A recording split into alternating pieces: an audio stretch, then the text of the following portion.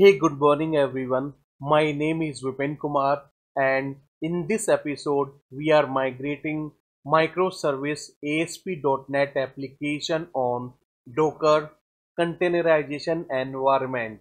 This is our sample application hotel management. In this application you can check the status of the room like ready, clean up or dirty. For example, you want to book a room 103 for 23rd.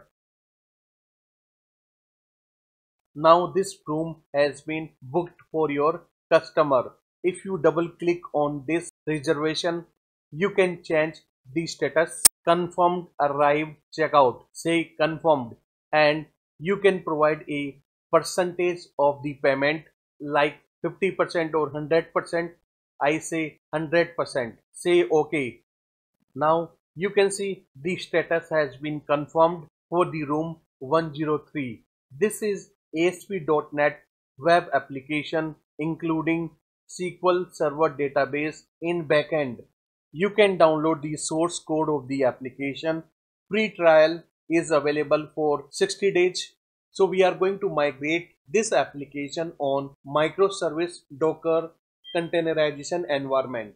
You can find application source code including Docker compose file and Docker file on my GitHub account. I will share this link in video description. So let's begin. I have already downloaded this project from my GitHub account. So first let's look at the Docker file I'm using a .NET Framework 4.7.2 image from Microsoft and I'm changing a working directory to inetpub www root on container exposing port 80 on the container. On line number 5 I am copying all files and folders from current directory to inetpub www root on container. So that's it for application ASP.NET web form interface. So now let's look at the application backend SQL database. We are using the Docker compose file to build a image or container for the SQL database environment. So let me explain the Docker compose file for you. This is the Docker compose file of the project and I am creating two services hotel room db for the SQL environment and hotel app for the ASP.NET framework.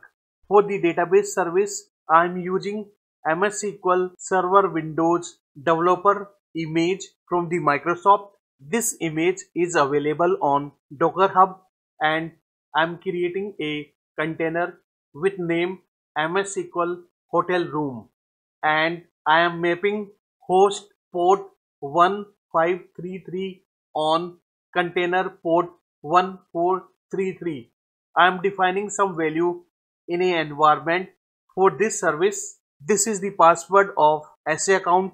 I am accepting all license and term during the container creation and finally I am attaching a database called daypilot mdf and ldf file is available for this database on ctemp location of host machine.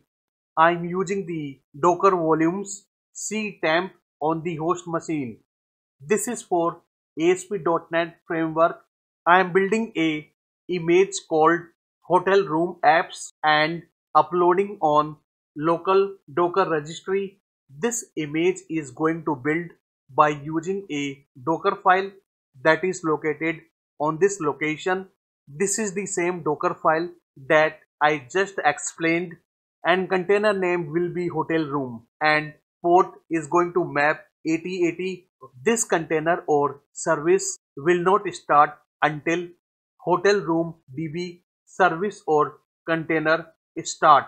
It means that if hotel room db service encounter any issue or doesn't start then hotel app service or container will not start. And finally we are using a default network NAT for both the docker service so finally we are ready to build this application on containerization environment. This is my test machine Windows 2016.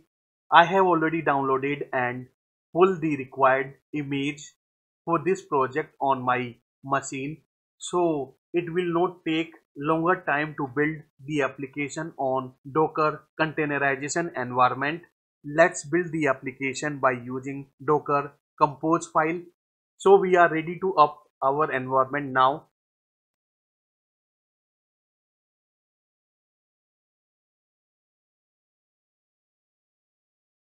It successfully created a image for ASP.NET Framework interface now it is creating services for MS SQL and app interface. SQL Server has been started successfully login with SA account. One database has been attached. This is the database and these MDF and LDF file attached to this database. Looks like that our environment is ready to use. Let's open the another PowerShell console Yes, both the container has been created for the application. You can access the application on port 80. Let's try to access the application on the browser. This is the IP address of this machine.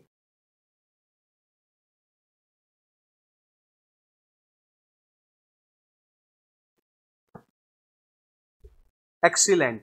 Our application is live on Docker containerization environment let's play around suppose that customer want to book a family room and room number 201 and 202 is ready for the vacate and customer want room number 202 for 7th of September. So click on box.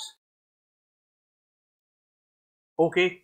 So this room is not confirmed yet and customer paid 100% rent for this room.